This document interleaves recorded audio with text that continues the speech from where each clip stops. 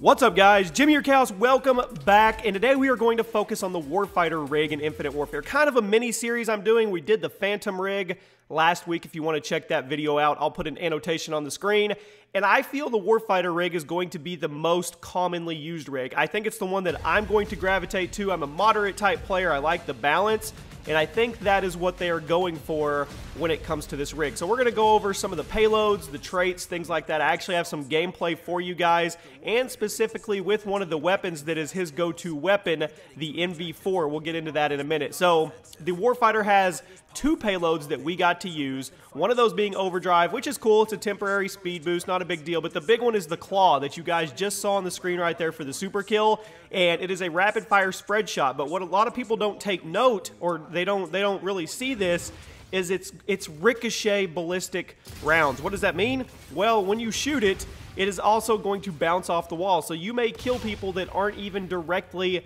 in front of you. Hell, they could be behind you for all you know, and this thing is absolutely devastating. It really is. And then we have some of the actual traits, and you have ping, persistence, resupply. Resupply is what it is. Persistence actually makes it to where your score streaks do not reset, but they have a higher point value that you have to accrue. Kind of like Modern Warfare 3, support, whatever it was, but they are harder to get because they their levels go way, way up with what you have to do to actually earn them. So it's it's kind of a balancing effect. I tried it. I thought it was going to be crazy, but it actually wasn't. Then we just get into the actual warfighter, and I wanted to focus on his gun. Well, it's not his gun. You, anybody can use the gun, but it's kind of a focal point of the gun they're talking about, and that is the NV4. And this, to me, is also going to be that most used weapon. Just that balanced go-to weapon that everybody goes for. It's a mid to long range type rifle,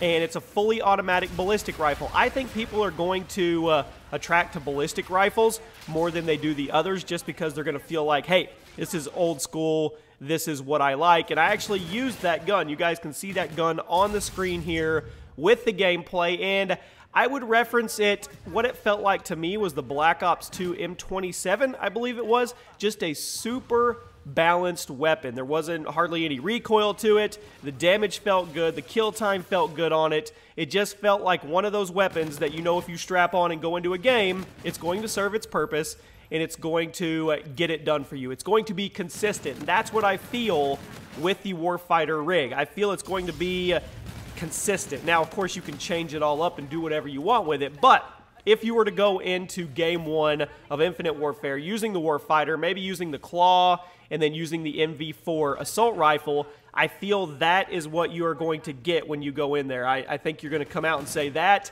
was very, very balanced. Now, we've talked about the Phantom.